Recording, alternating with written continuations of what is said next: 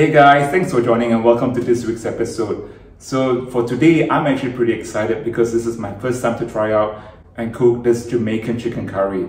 So coming from Southeast Asia, I was kind of wondering how the curries came about in that part of the world. And then that's where later I researched and then found out that uh, there were Indian immigrants that came over to the Caribbean and worked in the sugar plantation.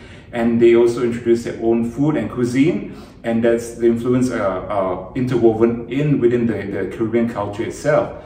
So I'm pretty excited to try out this dish. So without further ado, let's get started with the ingredients for today's curry. So what you need is of course some chicken, some salt and pepper to taste, some allspice, curry powder, one onion, garlic, some fresh ginger or ginger powder. I'm using the ginger powder, some thyme, one scotch bonnet pepper, and some chicken stock to go with your curry. So those are the ingredients for your Jamaican chicken curry. I also added one more ingredient, which is the fried plantain. And uh, I thought this would go well with the curry. And somehow this is bringing back all those memories of my time in Florida and California. So guys, I don't know about you, but talking about all this is making me feel hungry. So without further ado, let's get started.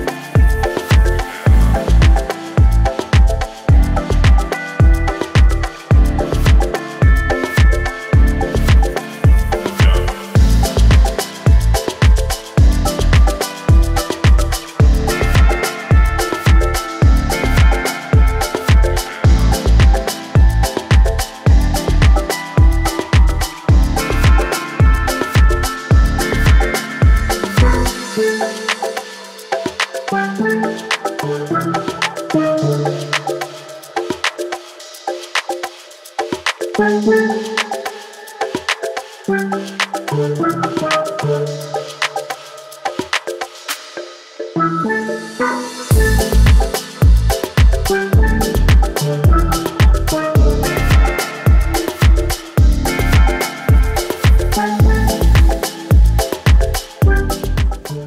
there you go. This is my take on my Jamaican chicken curry. It is smelling really good in the kitchen and I cannot wait to try it. So thanks very much for watching this week's episode. I hope you guys enjoyed it. Don't forget to hit like, subscribe and the bell. It's me saying goodbye. I'll see you guys again soon. Take care. Ciao, ciao.